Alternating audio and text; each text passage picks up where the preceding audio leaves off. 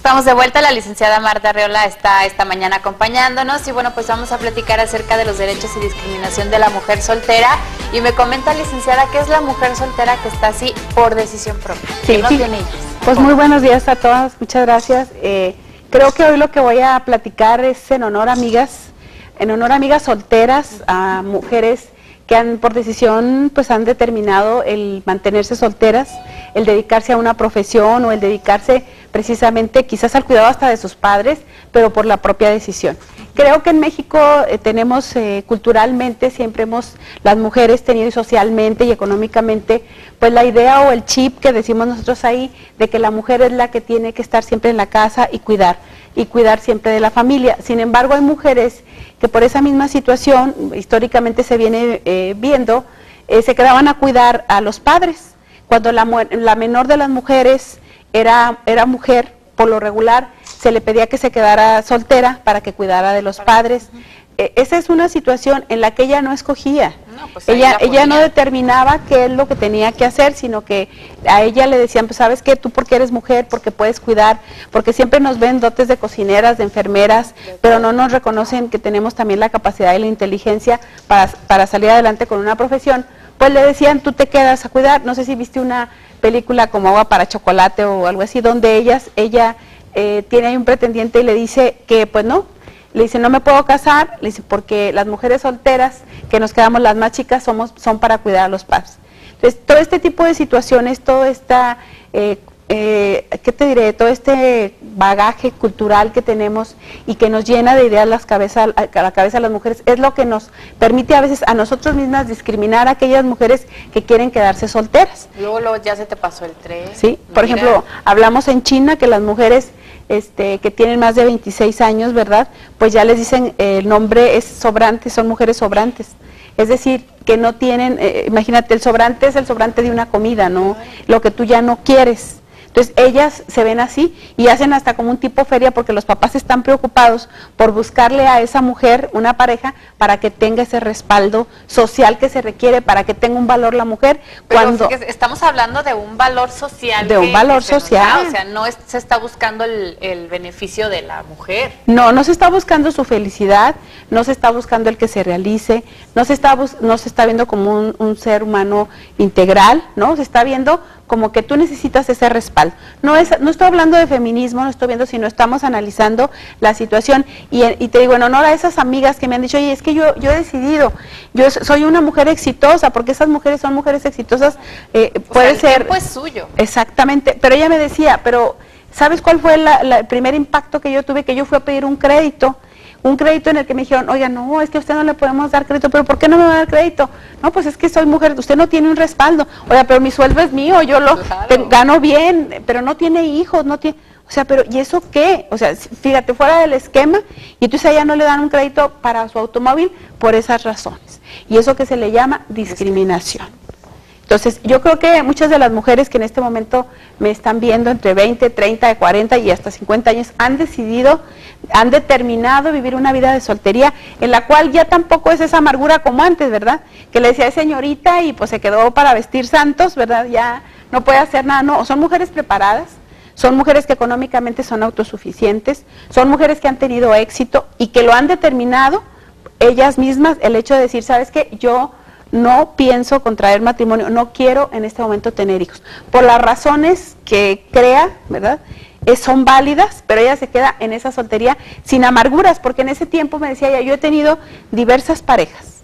Yo he tenido eh, tiempo en el que he vivido con algunas personas, eh, que hemos sido pareja, sin embargo, por alguna razón no, hemos, no pudimos o no quisimos nosotros hacer formal esa relación o tener un hijo para formalizarla. Pero eso no es ningún pecado, porque eso yo también lo decidí. Y es, ella me decía, soy amiga de las personas, soy amiga de mis parejas, porque en algún momento determinamos que no podíamos llevar una vida juntos o que no estábamos preparados para tener una vida en familia. Y es mejor esa responsabilidad. a después, hasta aquí, porque muchas veces las mujeres no nos preparamos porque nos dicen o la casa o la familia o el trabajo. Y entonces resulta de que cuando la mujer es madre soltera, es doblemente discriminada. Porque también ahí hablamos de un tipo de soltería que ya dices tú, bueno, pero hay, un hijo, ¿no? Pero esas mujeres son discriminadas porque laboralmente ¿verdad? Si, vas a si van a una entrevista, también hay otra persona que me dice, es que, licenciada, fue a una entrevista y me dicen, pues que, que quién me va a cuidar al niño. Dice, ya ni siquiera me preguntaron de mis capacidades como persona, como profesionista, sino me preguntaban quién me iba a cuidar al niño, cómo le iba a hacer para, o si tenía tiempo para ir en horarios en la tarde. Sí, entonces le dije yo, bueno, pues yo sabré cómo le hago para, para poder cubrir, porque hay guarderías que también es lo que te digo, aquí se necesita que trabajemos como equipo, aquí se necesita que haya en su momento guarderías, no solo para menores en los tiempos correctos, sino en aquellos donde la, hay, personas que trabajan en, en tiendas, ¿verdad? donde trabajan de noche o que están abiertas o farmacias que están abiertas de noche y ahí trabajan como empleadas las 24 horas, pues pero no hay guarderías. No hay guarderías para, para que les puedan cuidar a esos niños. O te voy a decir, la vida de la mujer soltera que por decisión se queda y resulta de que la mamá está enferma, tiene alguna enfermedad y quién le ayuda a cuidar a esa, esa mujer. No hay lugares, tampoco no hay guarderías para, para personas mayores, para adultos mayores, porque todos lo vamos a llegar a hacer. Y hay, y hay veces en que los hijos, a veces, pues si el, el vamos a decir, está enfermo por la, mamá o el papá de Alzheimer, pues resulta de que esas mujeres, por ejemplo, en España tienen ayuda.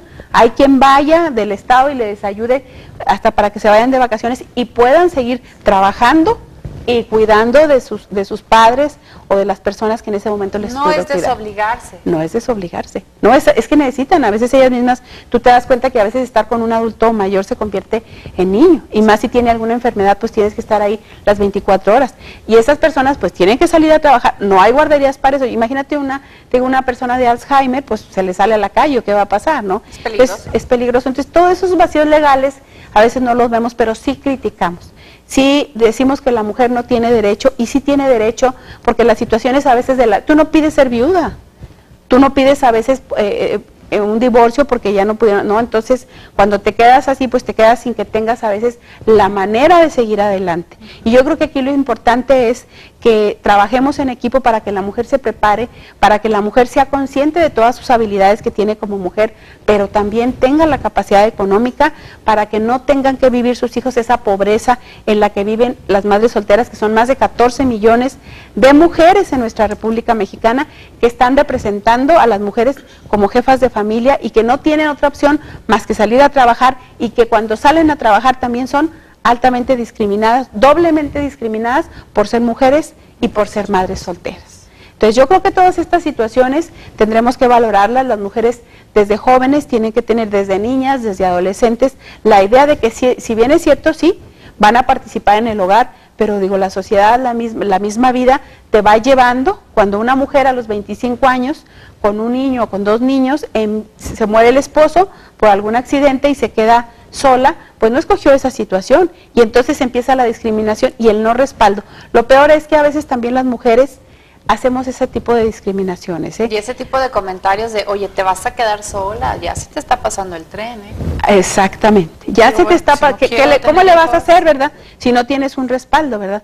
Cuando una mujer, como la que yo te estoy, se siente orgullosa, es una mujer exitosa, me dice, yo estoy feliz de haber tomado la decisión, dice, porque yo, y luego a ella le toca en algún momento cuidar a sus padres o a su madre, y dice, yo tuve la experiencia de cuidar a mi, a mi propia madre y que fuera mi hija, por la razón de que ella, pues, por la enfermedad que ella tenía, y entonces yo, todos mis vacíos, toda la situación, dice, espiritual, emocional, yo la cubrí, y aparte la económica, pude darle a mi madre lo que, lo que quizás económicamente ella necesitaba.